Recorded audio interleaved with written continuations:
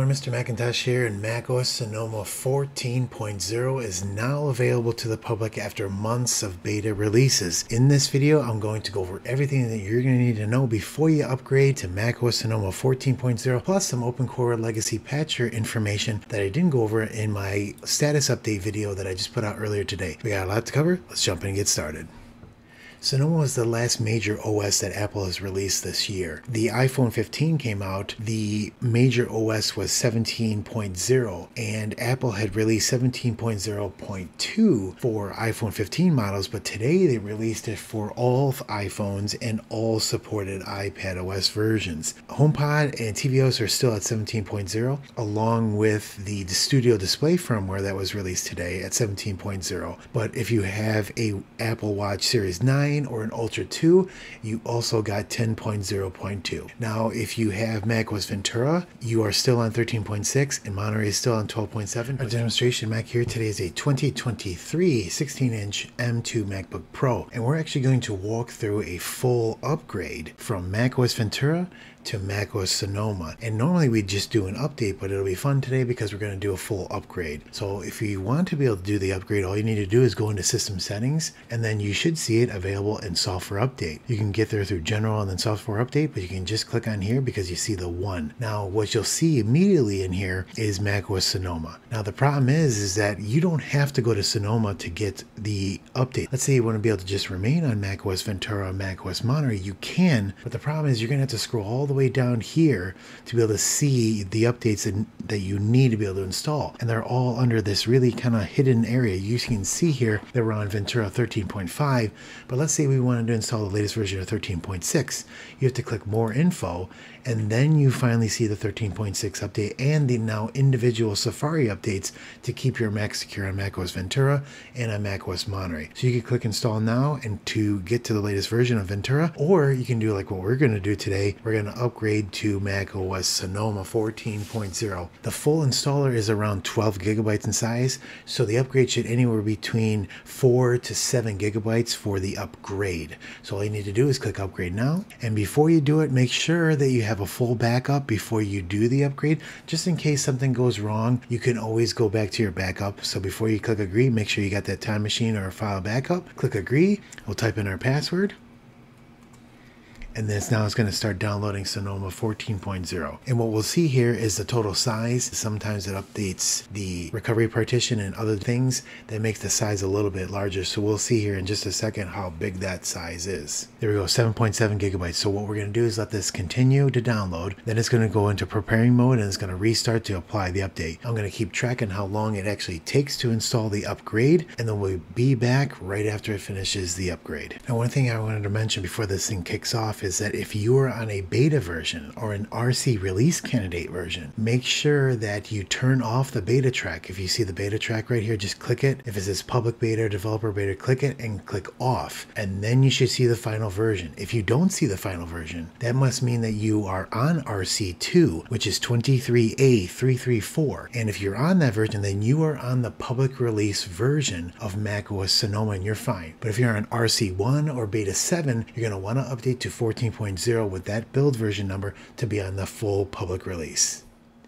Okay, we're back after the upgrade to macOS Sonoma 14.0. Now, I mentioned earlier in the video about the build version, and I wanted to, call this out one more time just in case you are on RC1 or Beta 7, or you were on RC2 and you're wondering, wait, I don't see the update to the public version. That's because the version of 23A344 is RC2 and the public version. So if you're on that version already, you're already on the latest version and you don't have to do anything at all. Just make sure that you go into system settings and turn off your beta updates. So if you're on a previous version, you'll see this version, you can update to it immediately. How long did it take to install the 14.0 upgrade? And it started the preparing at 1140, ended at 1152. So the preparing part only took 12 minutes total time. Now after it rebooted, it took 15 minutes of actual installation time for a total of 27 minutes start to finish from upgrading from Ventura 13.5 to macOS Sonoma 14.0.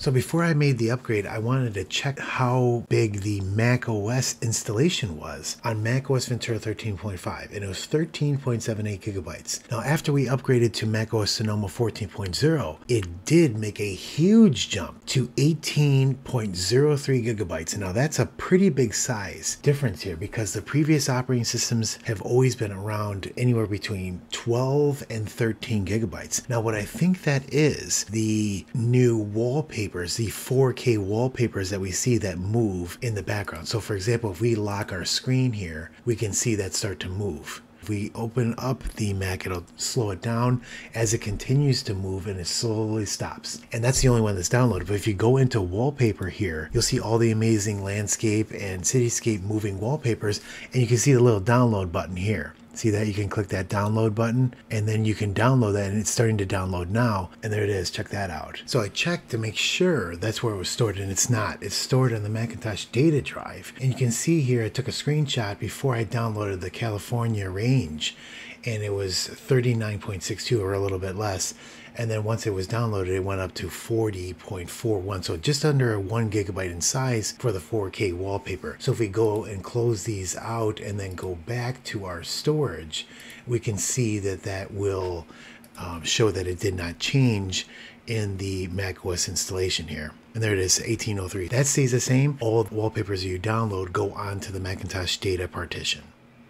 Now, what about Safari? Safari was updated to 17.0. 17.0 was also released for macOS Ventura and macOS Monterey, but it was not released for macOS Big Sur. So that pretty much puts the nail in the coffin for macOS Big Sur. It is no longer supported. That's something that you're going to need to think about if you're still on macOS Big Sur. Should you make that jump? I do recommend you making the jump to at least macOS Monterey so you are at least security supported by Apple.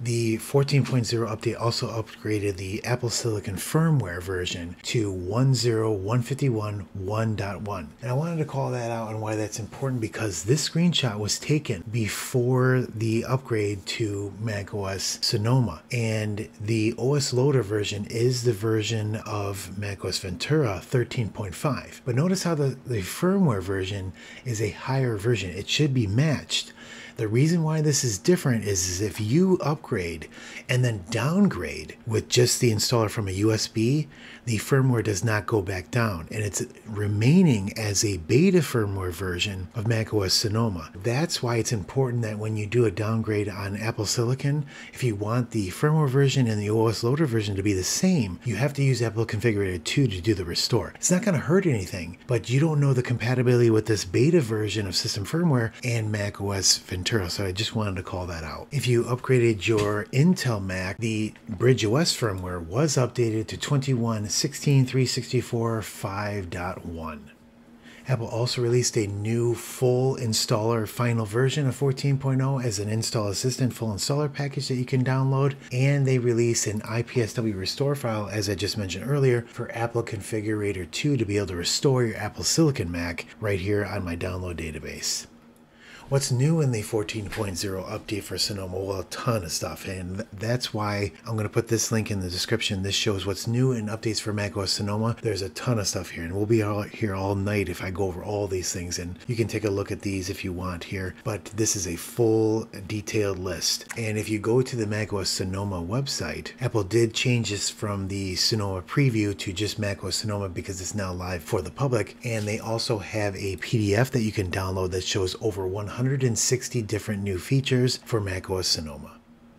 Now let's talk about what's new in enterprise for macOS Sonoma for education and businesses and government. There's a large list here of device management changes that are really great for macOS admins. And it's really great to see that Apple is documenting every single one of these and listening to the feedback of Mac admins, telling them this is what we need to be able to make the Mac successful in the business and education and government environment. So this is just wonderful to see. And a new section was added down here for bug fixes and other improvements. Now, you've heard me talk about the need for better patch notes as for as long as I've been talking about Mac OS. So it's wonderful to see Apple putting in these extra details. These are the things that we love to be able to see. It's so important for everybody to know that these are actually being done in the background. So again, wonderful job, Apple. Keep this up. Keep giving us those patch notes that we really like to see. What's new in security for macOS Sonoma? They have a new support document for all the security changes for macOS Sonoma and for Safari 17.0. So if we go to the Sonoma section here, we can see all the security updates and there's over 60 security updates in the 14.0 upgrade. And it's significant how many are listed here. And it's great to see that these are all being fixed by Apple and fully documented in this document.